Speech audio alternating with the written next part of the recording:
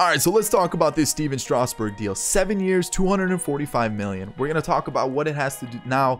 Has to do with Gerrit Cole, Madison Bumgarner. We'll talk about a couple other things that happened in the MLB today. But the big thing, Stephen Strasburg record deal. This is insane. We're gonna talk about if it's a good deal, bad deal, what I think about it for the Nationals. We'll talk about it. But before that, if you enjoyed today's video, thumbs up down below. Subscribe to the channel if you're new and enjoyed the content. And as always, in the comment section, get involved today. Let me know what you think about this deal. Is it a good deal? Do you think it's too much money? As a Nationals fan, do you think it's a good thing? Do you think he should have went after Rendon instead? Let's let's talk about this. So, top left corner or top right corner actually, my most recent video. Go and give it a watch if you haven't already. And in the description are all my social media, Twitter, Instagram, Snapchat, all that stuff. Go and give them a follow if you haven't. So, now we'll actually talk about this. 7 years, 245 million, 35 million a year. I know there's there's been a couple tweets there's some news going around that they're deferring I think 80 million of the contract. So yeah, there's some deferment, you don't have to pay it right away, but still 35 million a year. So a guy that's going to go out there every 4th or 5th day for you depending is going to be getting paid 35 million dollars a year, which is insane. And it's crazy because I understand nowadays pitchers are kind of a luxury. You need to have good pitchers, and top pitchers are a luxury. Not every single team has a top pitcher. A lot of teams don't. It's crazy, and you know it's crazy to think about. So the Nationals went out and made sure that they got not only Max Scherzer now, they have they already had him. They had Patrick Corbin, and now they locked down Stephen Strasburg again. So opting out of this deal, he's making an extra 145 million that he wasn't going to make on his original deal. So Stephen Strasburg's getting paid. But I think for the Nationals, I think this was a little bit of an overspend. This basically now rules out Anthony Rendon because you already know he's a top positional player in free agency. He's going to get top dollar.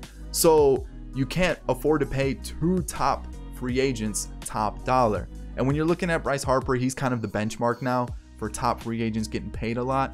And then Mike Trout's obviously like way up here, so he deserves to get paid. But pitchers are now at the point where they're a guy that goes out there every fifth day and they're getting paid absolutely insane, like just more, just more than ever. And like I've mentioned, it's it's great. They deserve to be paid more than ever. They're a luxury. Like you need good pitching. But let's take a look at Strasburg's stats and let's let's see why he got what he did. So Strasburg last year had a 332 ERA, his whip sat at just above a 1 and he pitched 209 innings, which is crazy. So you can see he's a workhorse. He's going to get you those innings. And not only is he going to get you those innings, he's going to give you consistency. He's going to perform at a top level every single time he gets out on the mound. So even though when he first came in the league, he had Tommy John, he had those elbow issues, he's way past that. He's been in the league 10 years now. You're looking at an ERA at 3.17, a 296, no, a 1.0 8-6 whip and you know with Stephen Strasburg, he's a top pitcher. He's going to give you quality performances every single time he steps on the mound. And that's that's why the Nationals paid him the way they did. He's a top pitcher. And when you look at the one, two, three in the rotation of the Nationals, it's one of the best in baseball. Scherzer, Strasburg, Patrick Corbin, and then it's rounded out with Anibal Sanchez, Joe Ross, Voth, or Fedde. So you got, you know, a couple different options for that four and five spot, but that one, two, three is unbelievable. And that's part of the reason why they were able to win a World Series this year. The thing I just really don't like about this deal is it is a lot of money.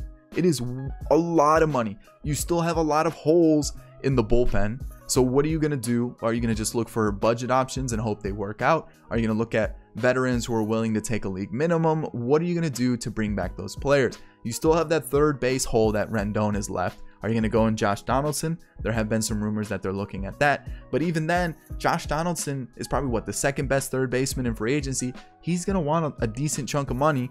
Can they afford to do that? Still bring in bullpen options. And then I know Zimmerman's their first baseman, but he's kind of aging. They're going to need someone to help out there too. Are they going to be able to have the depth for infield?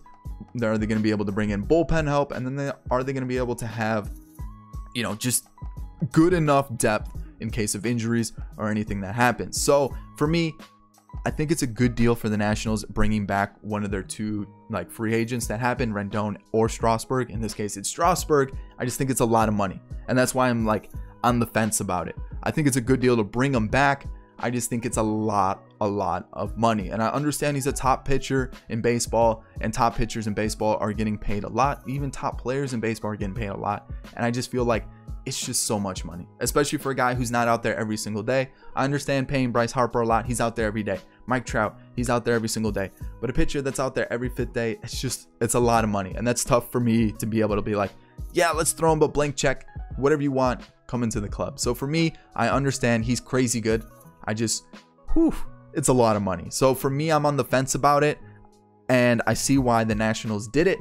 But now you got to think about, whoa, what's Gerrit Cole going to make? That is a crazy thing because Gerrit Cole has had no injury history. There may be some small tweaks here and there, some small issues, but let's take a look at his stats. So last year, he had a 250 ERA. His whip sat at 0.895. Yikes. Holy cow. 0.895. He pitched 212 innings. The year before, he pitched 200 innings. And the year before that, he pitched 203.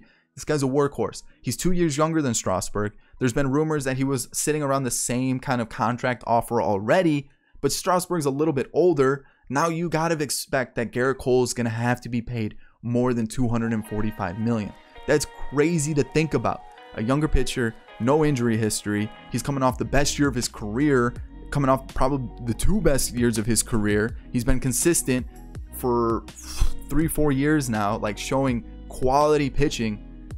Yikes. Whoever signs Gerrit Cole is going to pay a crazy amount of money. And for me, again, that's a lot of money when you have other positions that you need to fill. And I understand in baseball, really all that matters is does do teams really want to go over the luxury tax? Are they willing to spend that money? And you know, some teams are, some teams aren't.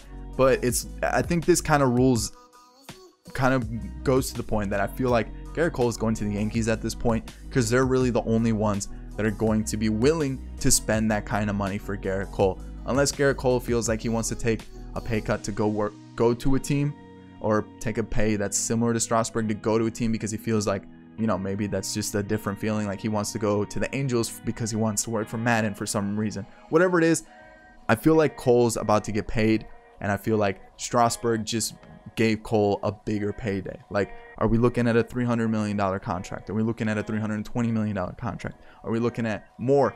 Who knows? But I think Gerrit Cole is about to make a crazy amount of money, and it's just mind blowing to me. And I think that's the, the biggest thing for me. It's a lot of money, it's mind blowing. So, that's kind of the big things. And there's now you got to think about Madison Bumgarner too, because he's saying he wants at least nine figures. So he wants at least 100 million because he saw that Zack Wheeler's getting 100 million. Well, I've proven that I've been a better pitcher than Zack Wheeler throughout my career. I want more than, you know, I want more than what he's making. So Zack Wheeler's getting paid. You got Stephen Strasburg getting paid. You got Gerrit Cole about to be paid. And now Bumgarner is wanting over 100 million for a contract, which is insane. So it's going to show that the market for pitchers, if you want a top pitcher, you're gonna have to open up that checkbook, which is again insane. Madison Bumgarner again has been a very, very good pitcher throughout his career. And he's a lefty too, so you know that kind of helps him out. Not as many good lefties in the market, but what? 100 million for Madison Bumgarner? I mean, it's kind of understandable. Zack Wheeler kind of set that market for him, but the teams that were kind of expected to sign Bumgarner, are they going to be willing to pay 100 million for him? The Twins, the Reds, the White Sox, are they going to be willing to pay for you know 100 million for Madison Bumgarner? So again, I feel like Strasburg has set a benchmark. Zack Wheeler set a benchmark for these pitchers. Now it's like, are these other pitchers going to expect more? And now it's going to hurt their value because now teams are going to be like, I don't want to pay that much. You can go sign with a different team. Or is it going to help them? Like Gerrit Cole, I think it definitely helped him. I think he's gonna pay get paid a lot. So that's enough for the pitchers. I think we've covered everything there. Really, the only other thing that I wanted to talk about was Francisco Lindor.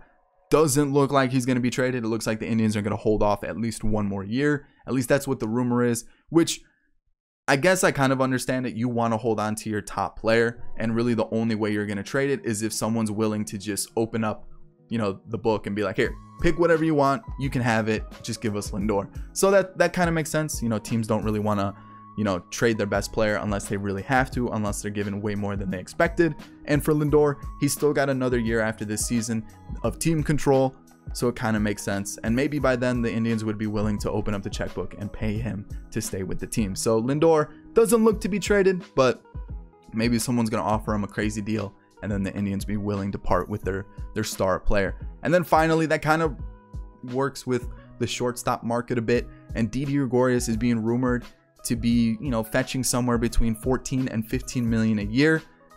You know, for me, I think that's a little bit too much. You know, Didi Gregorius, yes, he's good.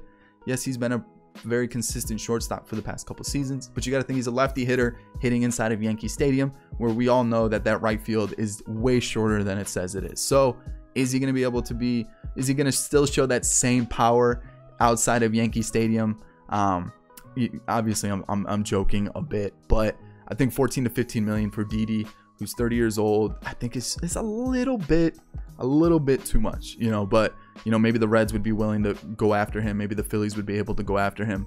So, I still think he has a market. He's one of the top shortstops available, and there are teams that are in the market for a shortstop. So, I definitely think that there there will be a team that goes out and tries to sign Didi, but that that's just my take on it. I think 14, 15 million is just a little bit too much. But for me, I'm usually overcritical, and that's why I'm saying, you know, this Strasburg deal, I think it was a bit of an overspend. I think going after Gerrit Cole for more than 245 million is going to be a bit of an overspend. And you look at, you know, Mad Bum asking for 100 million. And, you know, I understand that Mad Bum, Gerrit Cole, and Strasburg are all great pitchers, some of the best, you know, for the past couple seasons. I'm just I'm just super overcritical and I'm looking at it like is it really worth going out and paying that crazy amount of money when you could take you know you could shed off probably a hundred million and still pick up a really good pitcher when you're looking at the contract of Strasburg. So I get it.